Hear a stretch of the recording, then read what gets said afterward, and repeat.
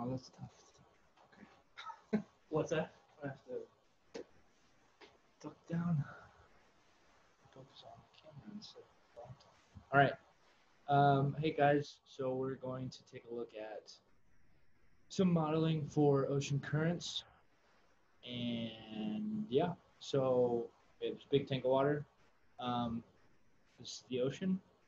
So what we're gonna do is we have some blue ice cubes and we're gonna put them in and see how the water, maybe, see how the water flows throughout the ocean.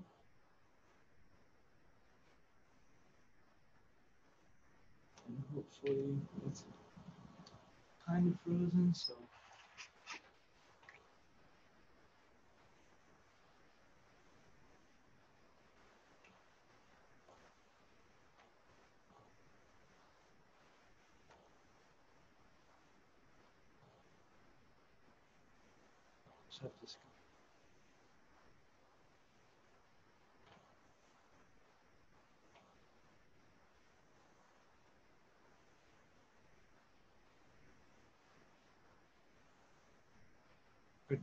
Okay, pretend this is ice.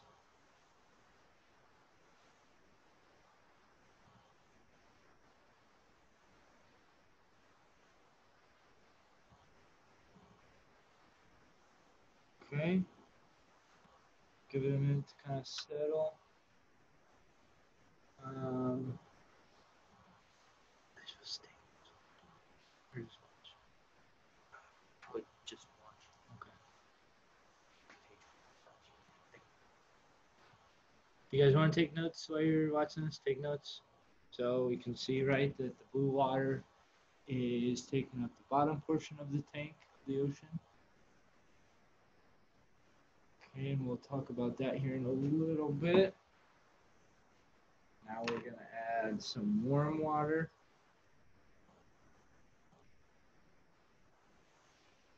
I was supposed to put that in, that would have been not good. Okay, so this one's going to be, warm water is going to be red.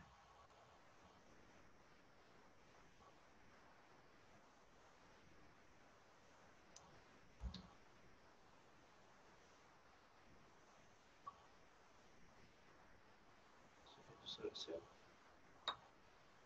Okay, now did you put the red in this side too? I did on the far side. On the opposite side? Okay, so we got warm red water going in.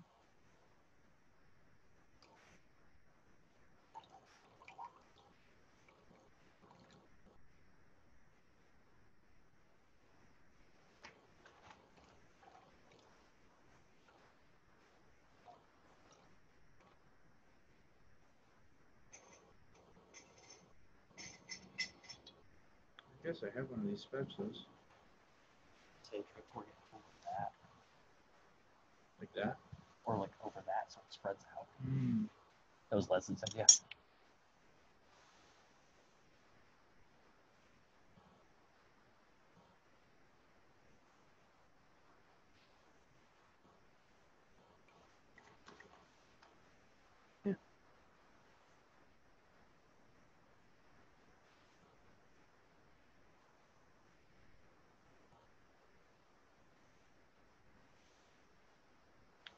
Okay, so as you can see in the video, some of it mixed with the blue water, making it kind of purple.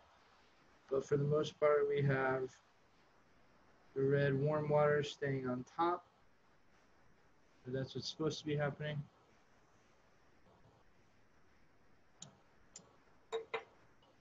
Yep, so you can see the red water kind of in this area and then it mixing as well over here with the cold water. Um, so what we're looking at here, guys, is we're modeling between um, ocean currents, right? So we have um, colder water is more dense, right? So that's going to sink to the bottom of the ocean or the bottom of the tank. Um, and then we have warmer water, which you can kind of see in a little bit of layers here, um, is separated because warmer water has more energy, so therefore it is going to always rise. Um, so that's how we can kind of figure out what's going on with the currents in the ocean. Okay. That's warm water and cool water. Um, we'll take a look at a smaller. Do You just want to do this on the same one? It's up to you. I was just gonna hit pause if you wanted. Okay.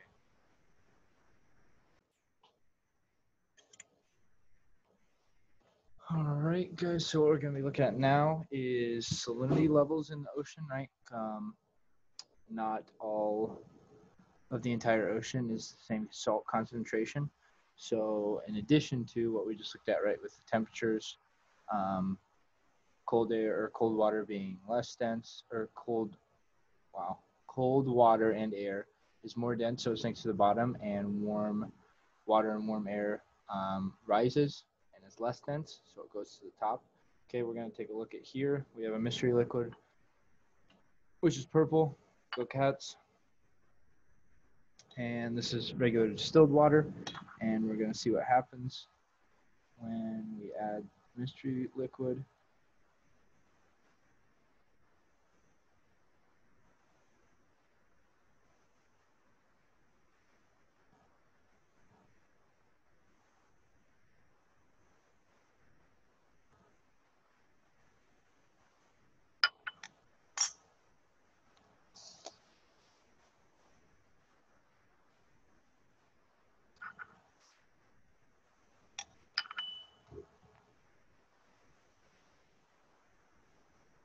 Okay, so I'm gonna leave it at that. So you can kind of see here we have some layering also happening. Um, hopefully you can see this better on the camera than I can, but about right here we have some layering, right? So this purple liquid is actually just really heavy salt water that we made a little bit ago.